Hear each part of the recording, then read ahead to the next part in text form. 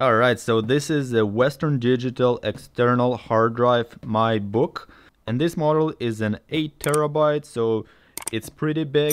It's not the biggest one they got. I think the biggest one they got is like 18 terabyte, but they're much more expensive and this is going to be the best choice if you're looking to get a cheaper price per gigabyte. I think this one is going to be like 20 cents per gigabyte because I got it for $175 for 8000 gigabytes which comes out to about 20 cents per gigabyte. If you buy in like a 10 terabyte or 12 terabyte, it's gonna be a little bit more. Let's have a look what it has. So it includes software that will automatically back up all the stuff on your computer and it will back up to this external hard drive and it will also password protect it. If you set the password, it's gonna encrypt it and that's a good thing because what you want to have you want to have your backup encrypted in case you get some virus or somebody breaks into your computer and they can actually encrypt it so you cannot access it. But if you do have a password on this backup they won't be able to get to it unless they have a quantum computer or something. So yeah this is a great thing. And as you can see it has a 256-bit AES hardware encryption. So this is a really good choice. Let's go ahead and open it up right now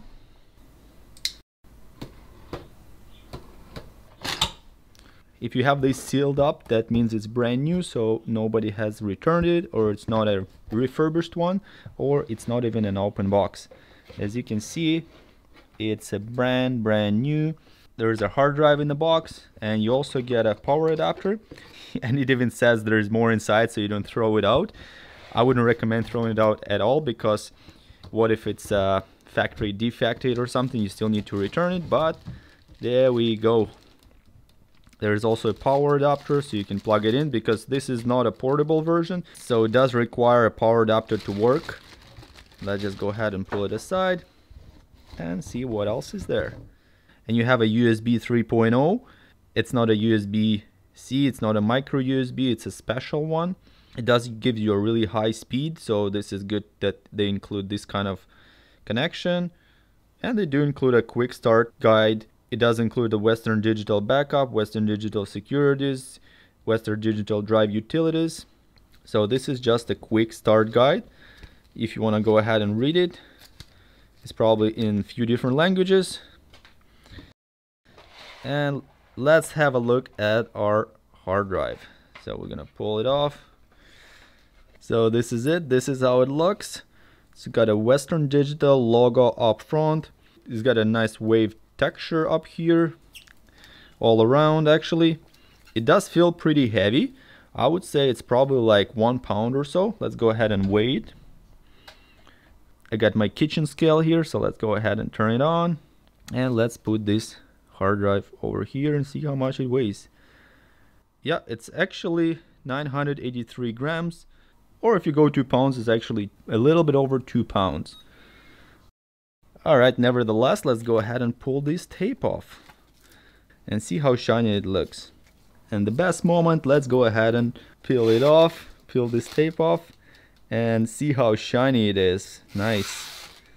It's gonna look pretty shiny, but it's probably gonna get dirty eventually, so but right now it looks so good. Alright, let's hear this again. So as you can see, like I said, there is a logo up front there is nothing on the sides. There is a my book on the back with the western digital website. You have this usb super speed on the back. You have a 12 volt power in here. And it also has this Kingston lock in case you want to lock it so nobody can steal it.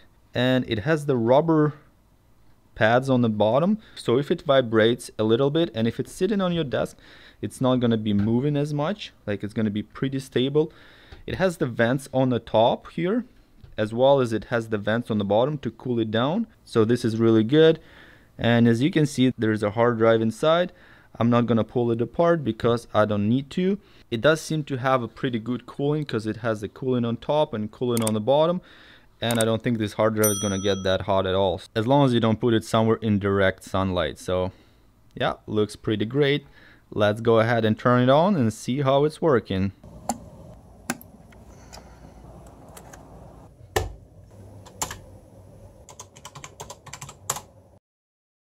Okay, so let's go ahead and find where the disk is and uh, we're gonna have a look here. in File Explorer. And there it is, my book H.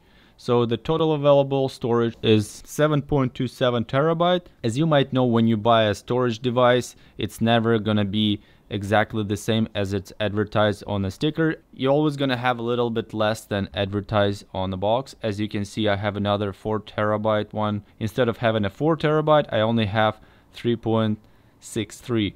And the USB drive I have 120 gigabyte, it's only 116, so it's always going to be less than what specified on the box. But nevertheless, 7.27 terabyte, that's still pretty good. So let's go ahead and open it up.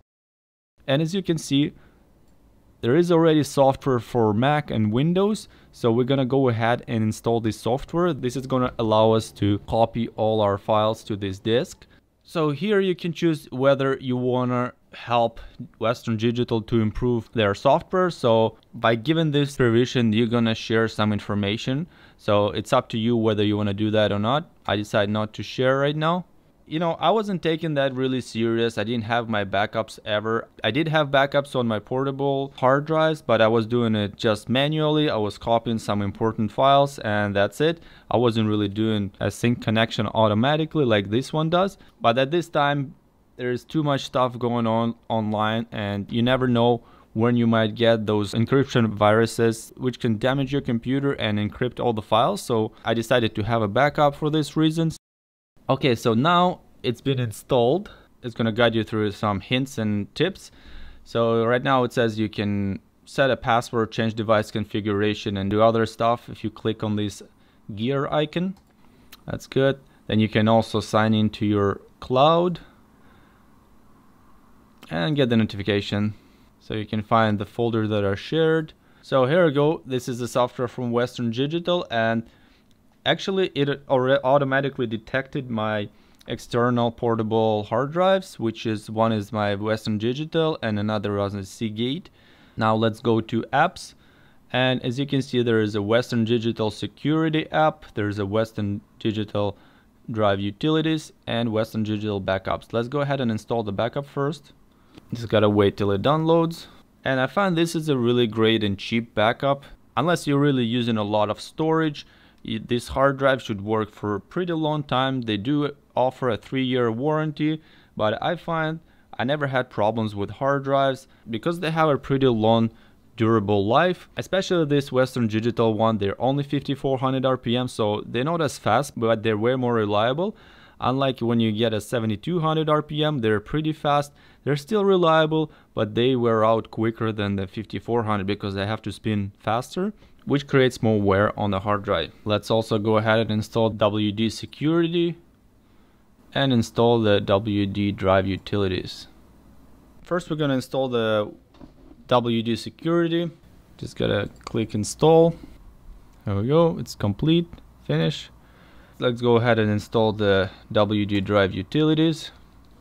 Again, the same thing, start all over again, install and finish. Now let's go ahead and install the backup. Same thing. Okay, so now when we have installed the backup, we can go ahead and backup all our files. So what you have to do is just gonna click on backup files. Then you just need to select the device where you want to back up your data to. This is obviously going to be my book 8 terabyte hard drive. Then you got to click next and it's going to start backing up your data to this hard drive. I'm not going to do that right now because I don't need to back it up right now. But anyway, this is how it's done. I hope you guys find this video helpful. If you like it, please give it a thumbs up. Subscribe to the channels for more interesting reviews and other helpful videos. I appreciate it very much. You can also shuck out my other video about the 12 terabyte Western Digital hard drive. This is another cool video. And also if you would like to check this drive and remove the hard drive from the case, I have another video you can check out. I'm going to put a link in the description and also put a link in the upper right corner as well. And if you have an internal hard drive that you want to turn into an external hard drive, there's a cool thing called docking station. And I got another video about that docking station as well. So, so follow the links in the description for these videos. If you have any questions or comments, drop them down in the comment section below. But this is it for now. I hope you have a nice day. See you soon. Bye-bye.